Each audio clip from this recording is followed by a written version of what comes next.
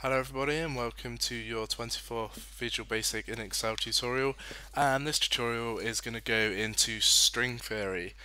Uh, don't get too surprised there, I'm going to go into the actual string theory. Um, uh, I'm just going to go over a few more things you can do with strings. So let's first of all declare a string. So dim the string as string. And let's give it a value. So the string equals I am a string. Right, so the first thing I'm going to show you is uh, in a message box, it's using um, left. Now this takes the value of the string uh, and then you put in a number, so let's put in uh, 4 and press that and it's expecting something else. So yeah, and it's because I put a speech mark in like this. So just get rid of them. Uh, we need another little one like that. So let's run this now. So play and it takes the first four characters of this string from the left uh, and dis uh, displays them.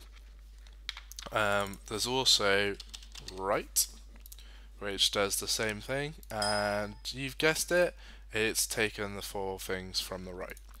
Um, so that's quite useful. You could say let's put uh, um, x equals one, two. How many things are there? Four, five, six, seven, and then so thirteen. Let's put thirteen in there, and then next and then we'll use X instead of that. And so that's going to come up with a few message boxes.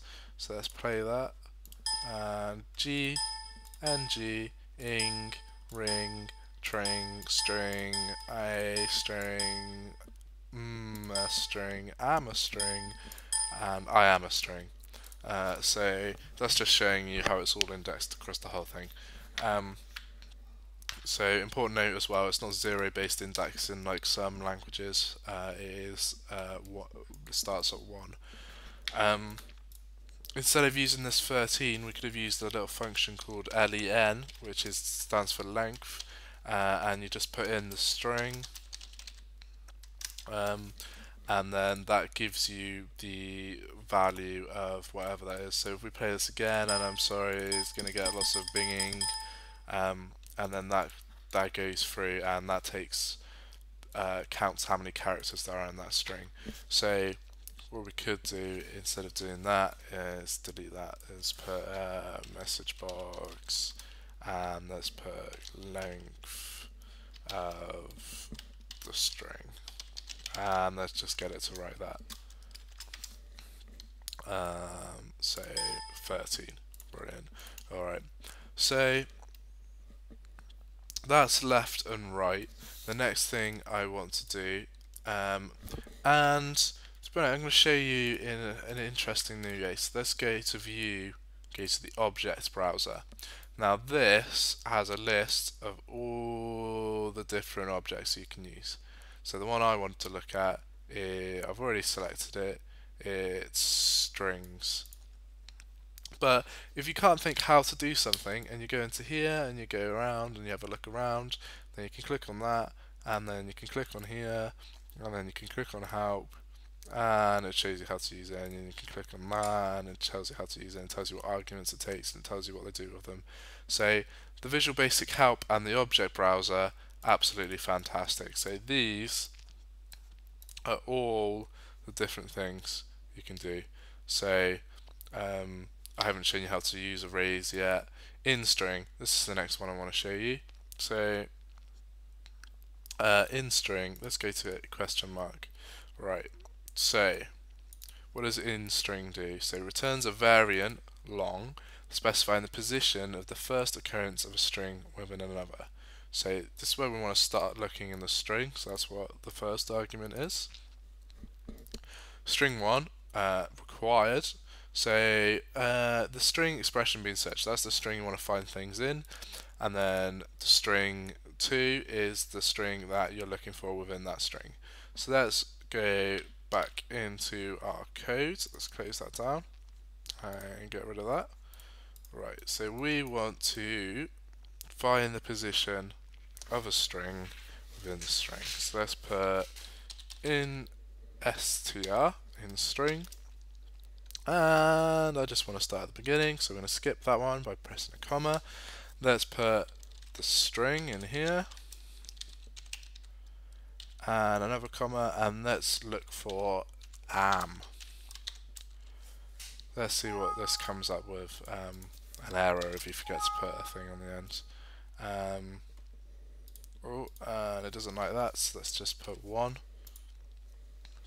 Uh, so let's have that starting as one and let's play this say three so that's value 1, that's value 2, and that's value 3, which is where it's found am. If we change it to A, does the same thing. Um, but if we start it at 4, comes up with 6, because 4 is here.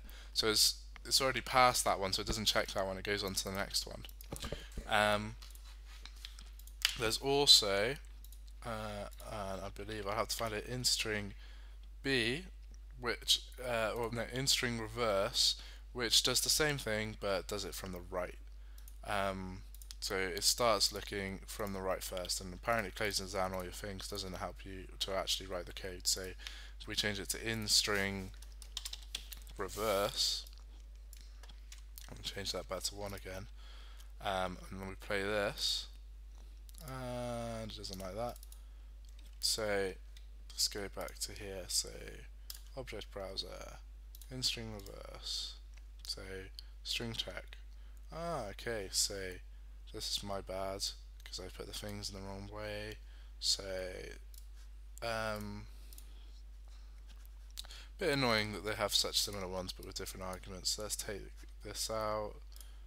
Um, I've clicked in there, so I've got to come back out again. So Let's put that there. And then let's play this now. And then that comes up with 6. So even though it's searching from the start, because it's reverse, it goes from the end of the string, so it's going backwards. Um, and we can put in an optional start in again here. Let's try out 6. I'm not sure what this is going to do, whether it's going to come out with 6 or whether it's going to come out with uh, uh, 3. So it's going to come out with 6. So let's put in 5 3. you notice that even though you're going from the right, the index still starts from the left. So that's an important thing to remember.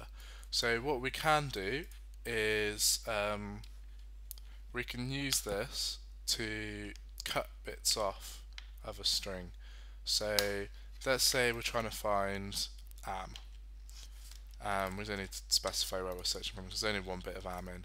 So we want to display wherever am is. So it's going to be free. So we want to go.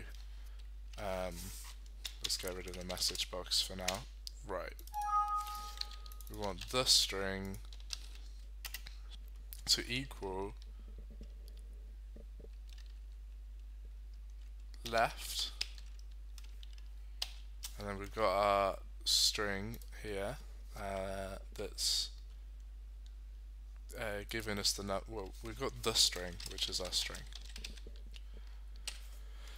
And then the length as long we're going to have as the index of wherever our am is. And I'm going to do it as in string for now. So I want to start searching from the front uh, and then I want to close that off.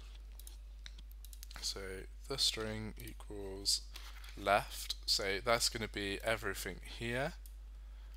And then we want to do pretty much the same thing, but we want to do right. And let's see what this comes out with. Um, nothing, because we haven't told it to. So message box, the string. And let's see how much time we've got. We've got plenty of time, so play. And that's going to come out with nothing. The reason it's come out with nothing is because it's gone for uh, everything to the left, and everything to the right. And it's got rid of everything. So um, we're going to want to do everything to the right, everything to the left, uh, plus 2. Right, let's play this am.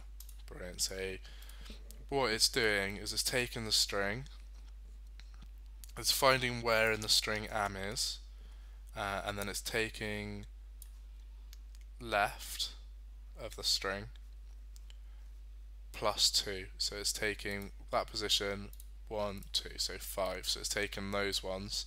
Then it's going, finding am again, finding the position, and then taking right from that position.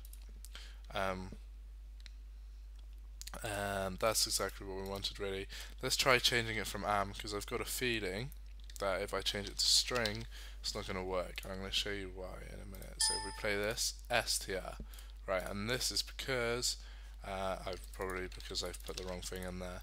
So play, and then it's come up with nothing.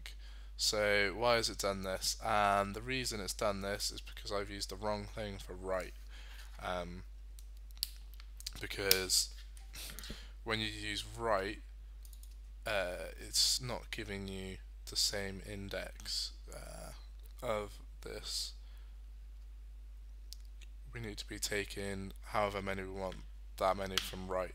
So let's take, we want the position in string, but we want to take it away from the length of the string. So length bracket the string minus the value of that. So let's play this now. And I am str, which is weird. And the reason I've done it is because I've made that value uh, wrong. So let's put that to 5. So tring, and apparently I can't count either. So let's put 6. And then it's still got tring which is interesting. Let's play. Okay. Let's try getting rid of this that I added in. Play that. A string. Okay. So that's obviously not working either, so we want to keep that in. Um,